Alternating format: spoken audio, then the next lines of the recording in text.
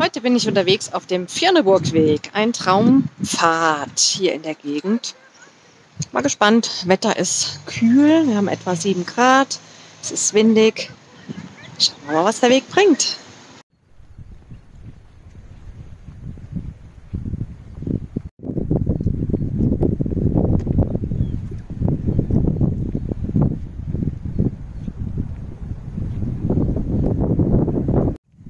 Ja, hier gibt es ein Traumpfädchen und einen Traumpfad.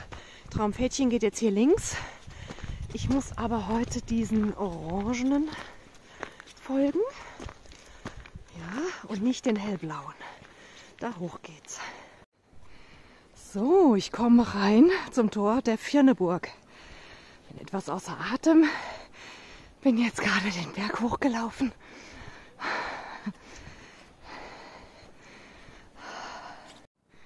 Da bin ich gerade reingekommen.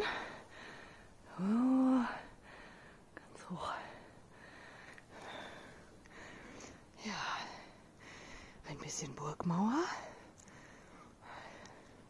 Ganz nett hier. Ja, ich bin heute das erste Mal mit einer Einlegesohle unterwegs. Äh, Arzt hat festgestellt, die Rückenschmerzen, die kommen davon, dass mein linkes Bein einen Zentimeter kürzer ist. Und jetzt habe ich so ein Fersenkissen und habe das aber in den Wanderschuhen bisher noch nicht benutzt. Ähm, macht sich nicht super gut. Also für eine längere Wanderung muss ich unbedingt die Schuhe erhöhen lassen beim Fachmann, weil man leicht oben rausschlappt aus den knöchelhohen Schuhen. Und ich glaube, für eine lange Wanderung ist das nicht so optimal.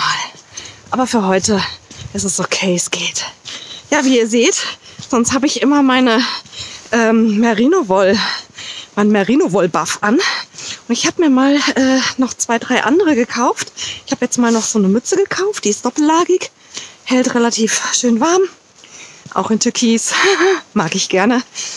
Und ich habe noch ein, einen Buff gekauft, der winddicht ist. Der ist mir aber einen Tacken zu groß. Den muss ich irgendwie kleiner nähen, bisschen enger nähen weil sonst bringt der nächste pfeift der Wind dann unten drunter durch. Ja, genau. Immer mal was anderes. Habe ich jetzt lang genug gehabt, den Merino Wollbuff. Bestimmt schon fünf Jahre oder so. Ach, da unten, da fließt ein kleines Flüsschen. Und da geht es für mich weiter. Ja, der Baum ist ja ungewöhnlich gewachsen. Also der hat hier unten geht's quer und nochmal hoch. Der hat zwei Spitzen. Ungewöhnlicher Baum. so, nachdem ich jetzt einen riesen Berg hochgelaufen bin,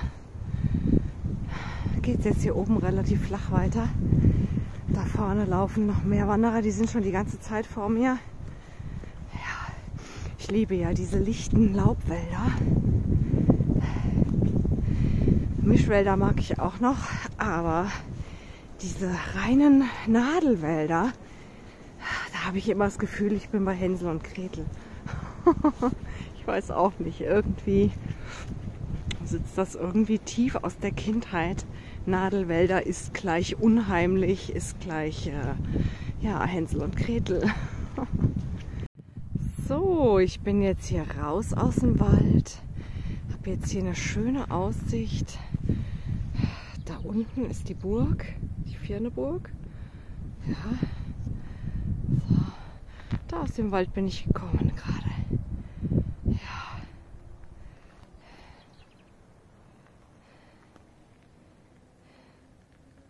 Und hier geht's weiter.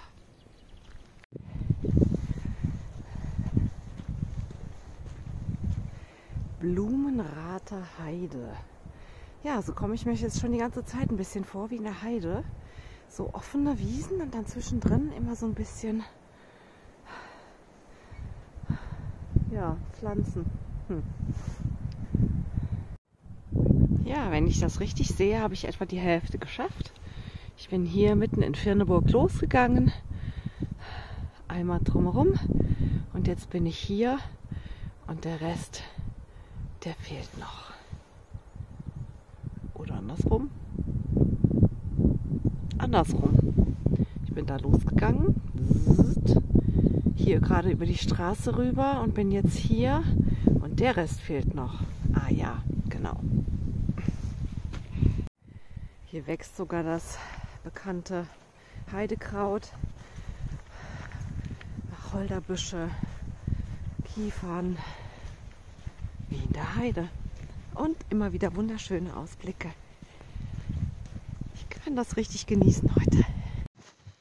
Da vorhin auf dem Schild stand, dass diese Wacholderheiden hier in der Osteifel entstanden sind vor hunderten von Jahren, als die Schafe und Ziegen hier alles kahl gefressen haben und nur die stacheligen ähm, Sträucher und Pflanzen haben stehen lassen. Und dass heutzutage ähm, diese Wacholderheiden zuwachsen würden, wenn man die nicht mit schwerem Gerät immer mal wieder frei machen würde. Ähm, ich sehe das irgendwie so ein bisschen zwiegespalten. Einerseits denke ich, ja, diese Wacholderheiden haben bestimmten Tier- und Pflanzenarten, geben die einen Lebensraum. Und wenn diese Wacholderheiden zuwachsen, dann verschwinden diese ähm, Lebensformen. Und ähm, ich denke aber dann auch immer, meine Güte, das ist der Lauf der Natur. Und ähm, dann siedeln sich halt andere Lebensformen an.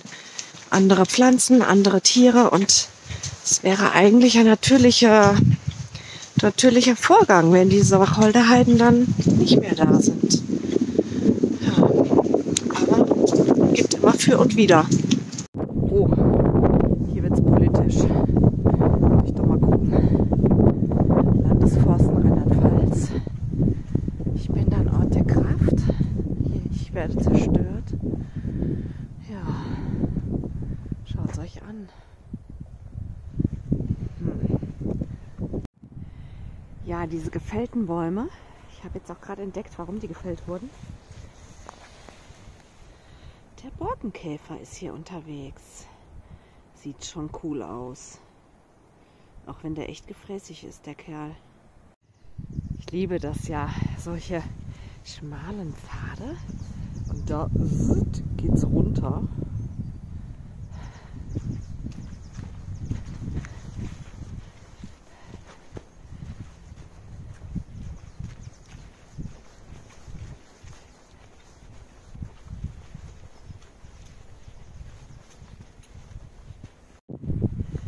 Ah, die Sonne kommt raus. Ja, ich bin froh, dass es nicht regnet. Ist nicht das super tollste Wanderwetter, aber es ist trocken.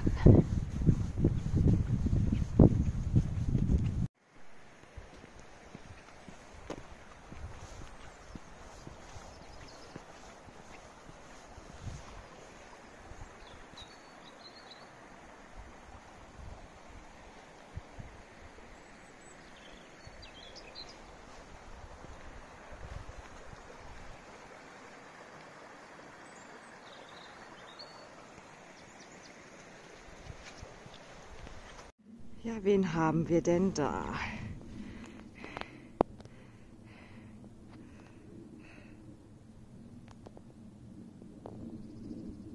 Ah, ein paar Schneeglöckchen.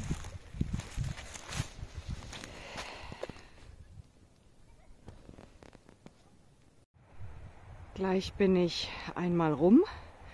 Hier nochmal ein Blick auf Firneburg. Äh, da unten steht mein Auto, habe ich geparkt. Vorhin bin ich hier bei der Kapelle hoch, da hoch zur Burg und dann irgendwo da hinten im Wald verschwunden. Ja, jetzt bin ich fast einmal rum. Hier ist ein Picknicktisch. Und jetzt geht's die letzten paar hundert Meter zum Auto. Ah ja, die Wildschweine hatten Hunger. Alles zerwühlt hier am Rand. Boah, nee, ey. Kann ja jetzt nicht sein. Auf den letzten paar Metern hier der absolute Supermatsch. Toll. Ich hatte mir gerade in der Pfütze die Schuhe sauber gemacht. Jetzt bin ich wieder total vermatscht. So, wieder zurück am Auto. Werde jetzt mal was trinken. Ich nehme das immer mit, aber irgendwie nehme ich mir unterwegs nie die Zeit dafür.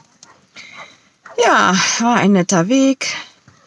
Waren jetzt knapp 10 Kilometer. War schön, mal wieder so was Langes gelaufen zu sein. Ja, mal schauen, was als nächstes dran ist.